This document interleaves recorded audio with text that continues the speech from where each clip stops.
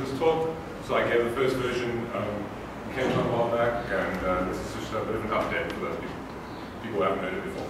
So we give a quick rundown of the history of um, us, um, Coptic how we started, what happened, um, some lessons that we've learned, and then what we're doing ahead. So, yeah, so um, three friends and myself, oh sorry, two friends and myself, three of us, we started a company um, beginning of last year.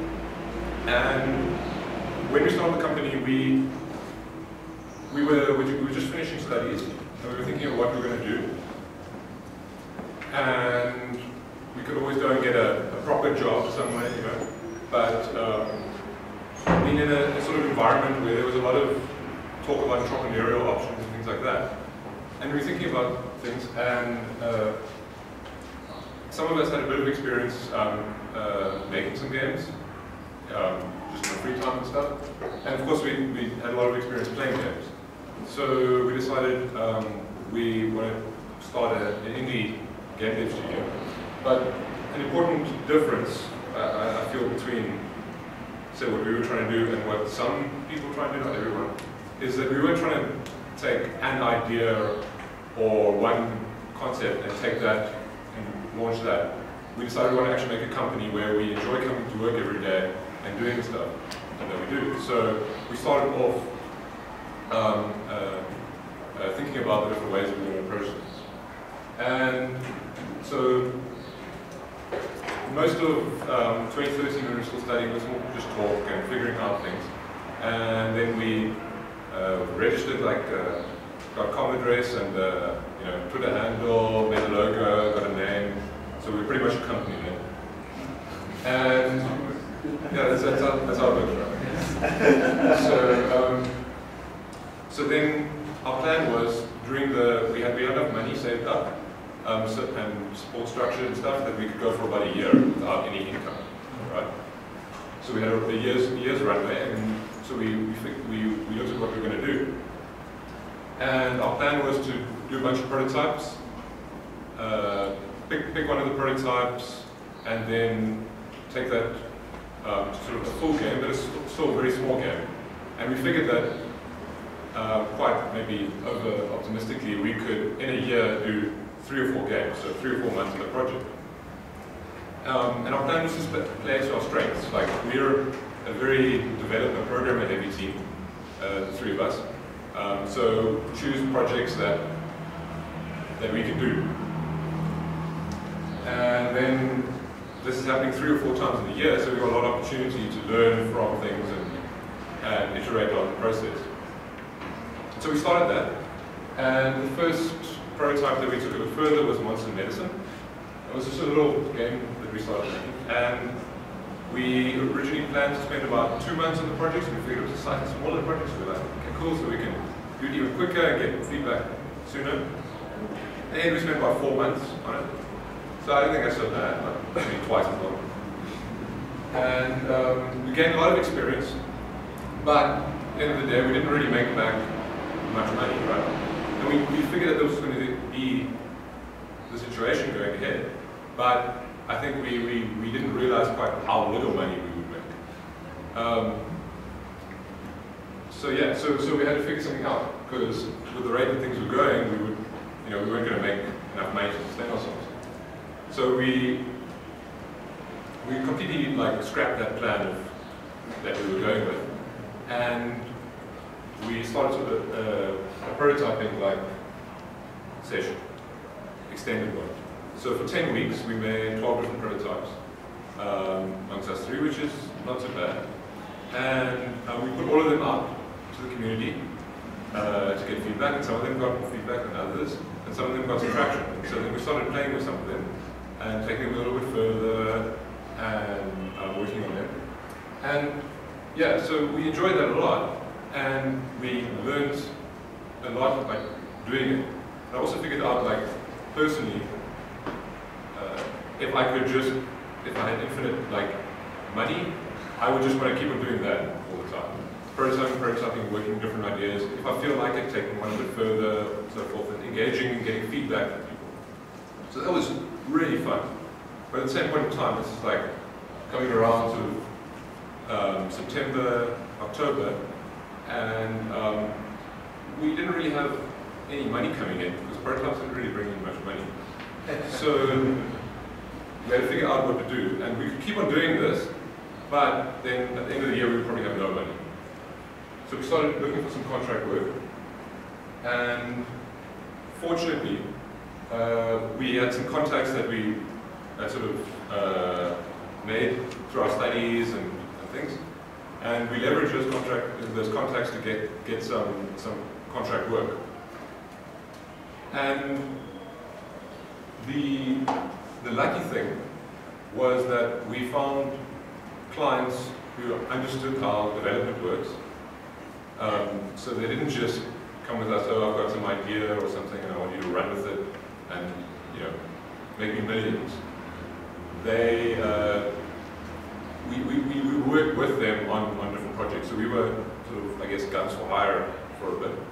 And uh, it, it, also it made it easy, uh, much easier on us because we didn't have to scope big projects um, when we didn't have much experience. We could work as hard as we could and communicate with the clients, and then at the end of the day we get paid.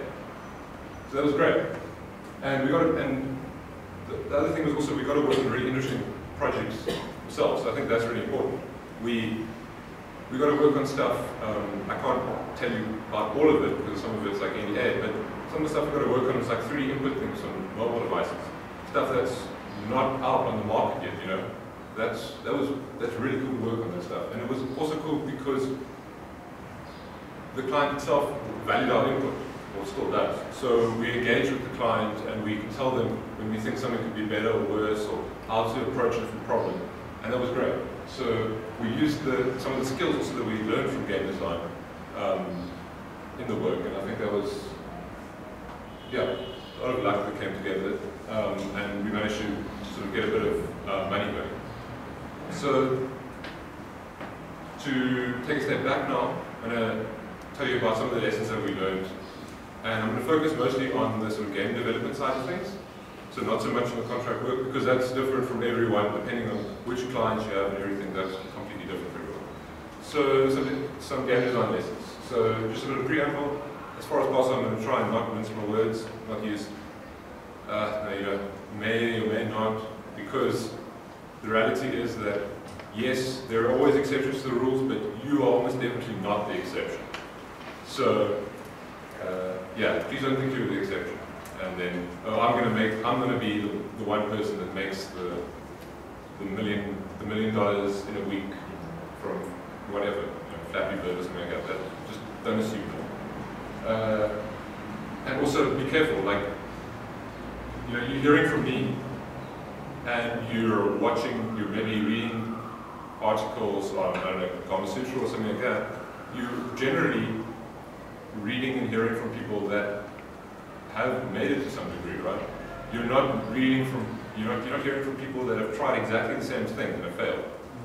So be, very careful about that, that, and basing decisions just on just on what you, you can see in the surface. So our first lesson is start very small. So put it bluntly, your idea is crap and your idea is too big. When you start off making games, you've got all these ambitious ideas that you want to uh, make a game about. And the reality is that, like, all of those are going to be too big. Think of an idea now, that's already too big. Harvard, Harvard, Harvard, and then maybe you can make it.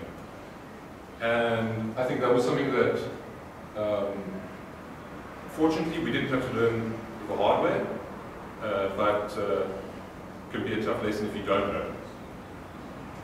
And the other thing is you can also, you can be better at this, right? So if you start on a project, you start working on a prototype, and you don't manage to finish it, or you get sort of stuck, stop, evaluate what you know what went wrong, and then try again with something smaller, smaller, until you get it working. And so this this ties into the always be prototyping.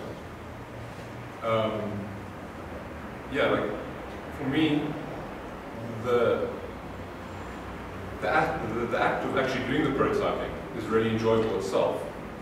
But if you're not prototyping, you're not going to be able to get feedback on what you're doing. You're not going to be able to um, improve um, your projects, your prototypes, and things like that. And yeah, well, you're not going to be able to make a game. So I, um, I think it's, it's helpful if you try and, when, you, when you're working on a prototype, you try and have some sort of a goal you're working towards, like something that you're trying to explore with your prototype, and then try and get that playable within a day or so. So jams are awesome opportunities for this, right? Um, you can go to a jam and there's some sort of uh, a theme or some sort of constraint that you need to work under, and think of it more as a bit of inspiration, something to guide you and spark ideas.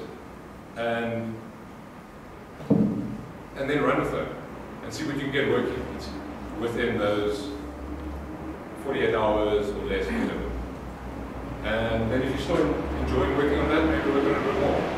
If you get stuck, throw it away. Work on a, a different prototype.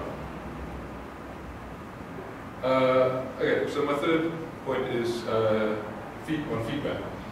Like, I think this is something that um, is super important, and it was something that we were, uh, from, from the beginning, we, we,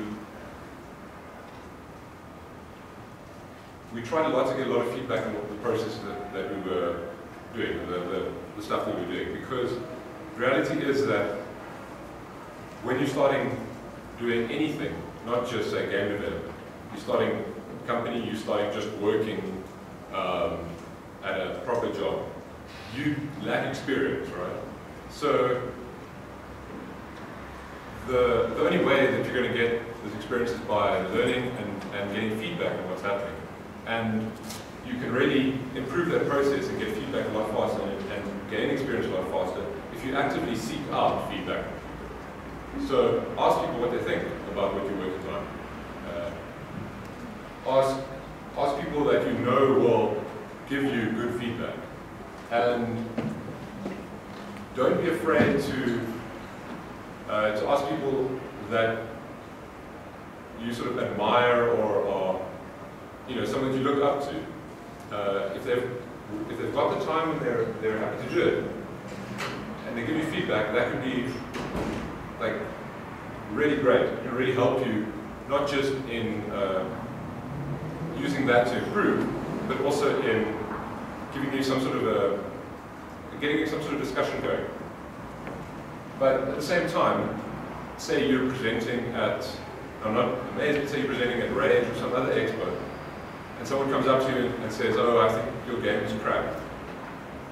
Like, they're right that they don't like your game, but at the same point in time, if they say that you should now pump up the damage on this gun, that's probably not what you should actually do. The, the problem is probably something else, something like that. So don't treat all feedback as being equal. And at the same point in time, you need to learn to be able to accept criticism, right? So if you're asking someone for feedback and they say that, look, I really don't like your game because of this or that, you can't just ignore them. Well, you can, but you, then what's the point of asking feedback? So you need to actually listen to what people are saying. You need to try and accept the criticism. You, need to be, can't just attack them or be defensive when people offer uh, feedback. You actually accept that and, work, try and incorporate it into how, how you do things. So yeah, so learn to accept criticism. And then one last, but I think the most important thing is that I think if you're making games, you need some sort of reason to make games, right? And the reason shouldn't be because you like playing games. And the reason also definitely shouldn't be because you want to make a lot of money. So, yeah, so if those are your reasons, I think you should maybe reevaluate things a bit. And and then once you once you do have some sort of a motivation, you need to really sort of run with that and and use that to sort of guide guide what you do on a daily basis because the reality is that, like I said, games is really not going to, most likely not going to make you money. And it's tough. So, and it takes a long time. So you need to enjoy the actual act of making games, right? If you don't like, uh, if you don't like what you're doing on a daily basis, but you're hoping to get a big payoff at the end of the day, then rather look at something else where that payoff is actually probably going to be there, right? Games is not that thing. You need to be enjoying enjoying the process. I'm saying it again and again, but it's really important. Like people often often come into games and other industries expecting some payoff at the end of the day, and I think that's a big problem. Of course, speaking from quite a privileged perspective, where at the moment I don't really have to worry about money because we've got the contract stuff going and we're getting money in, right?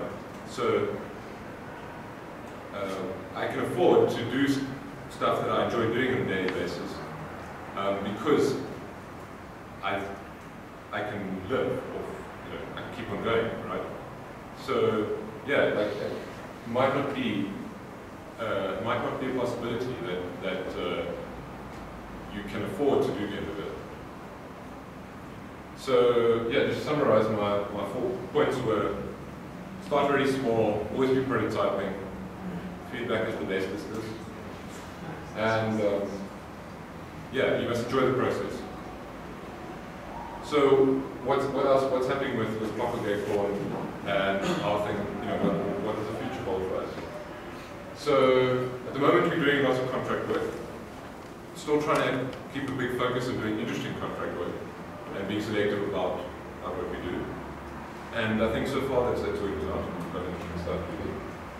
We're also a great company, so if anyone's interested in joining, hi. Um, and then uh, at the same time, we want to do game development uh, while we do contract work. How that exactly works out, we haven't quite figured that out. Um, but yeah, that's sort of ongoing process. And having fun. Yeah, that's important. Cool.